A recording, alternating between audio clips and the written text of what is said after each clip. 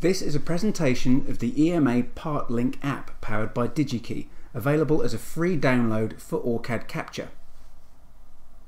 As we review the bill of materials, the component U1 does not currently have any properties populated like the description, manufacturer's part number, distributor part number, compliance or pricing data. With EMA's PartLink app, an ORCAD Capture user can now rapidly add part property data from the distributor link to the associated symbol selected.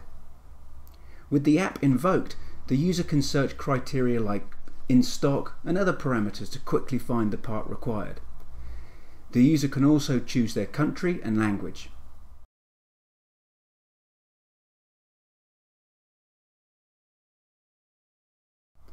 Once the search is initiated and completed, all relevant results are available for selection.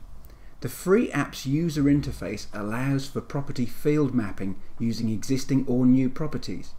Once the mapping is applied, the symbol is now populated with the distributor data as mapped within the user interface. When a new bill of materials is generated, we see how U1 is now fully populated with the distributor data. EMA PartLink powered by DigiKey, available for free on the ORCAD Capture Marketplace.